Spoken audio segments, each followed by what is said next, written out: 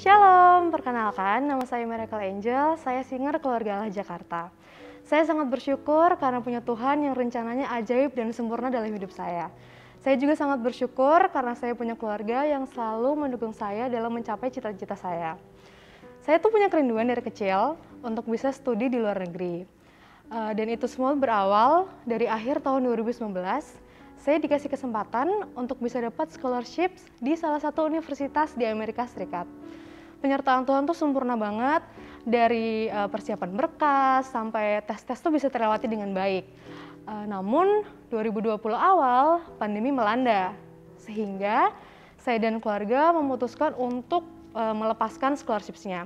Saya hampir hilang harapan dan berencana untuk menunda kuliah dulu.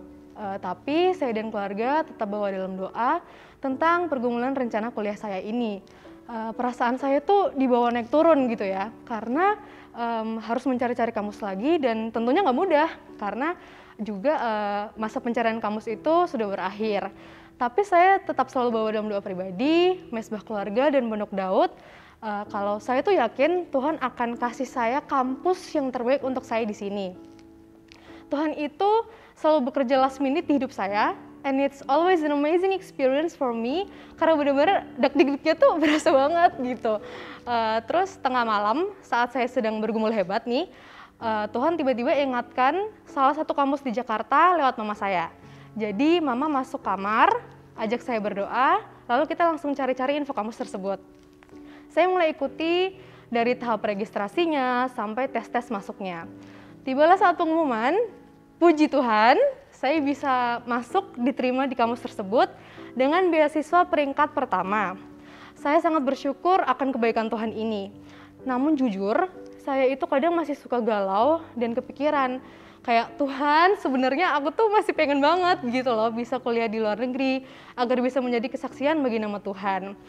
Oke, okay, pada akhir tahun 2021 kampus saya tuh buka International Exchange Program.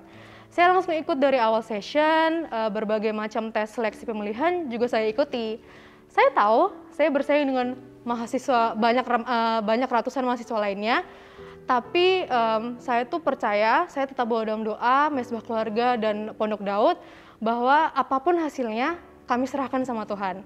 Saya juga sangat bersyukur karena Om Jonathan dan Mama Menita ikut mendukung dan mendoakan saya.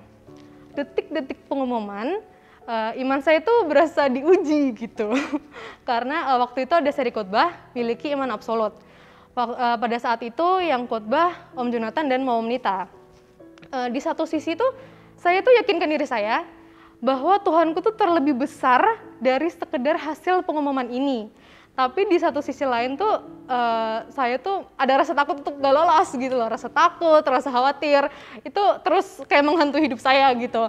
Tapi saya dan keluarga tetap bersatu dalam doa. Uh, saya terus terus minta blessing dari Tuhan. Setiap mesbah keluarga, Papa selalu tumbang tangan, mengoleskan minyak pengurapan dan berkatakan berkat bahwa doa-doaku, doa-doa kami sudah dijawab Tuhan. Kami deklarasikan profetik bersama-sama. Tibalah saat pengumuman, puji Tuhan, saya bisa lolos mengikuti International Exchange Program dan diterima di Hansa University di Groningen, Belanda. Itu semua karena berkat doa yang tiada henti dari keluarga yang mau bangkit bersatu iman dalam doa. Gak cuma dari keluarga jasmaniku, tapi dari keluarga rohaniku juga ikut mendoakan saya. Sungguh besar anugerahnya, jangan pernah tinggalkan Tuhan, terus pegang erat tangannya. Terus setia melayani Tuhan dan beribadah di keluarga Allah. Tuhan Yesus memberkati.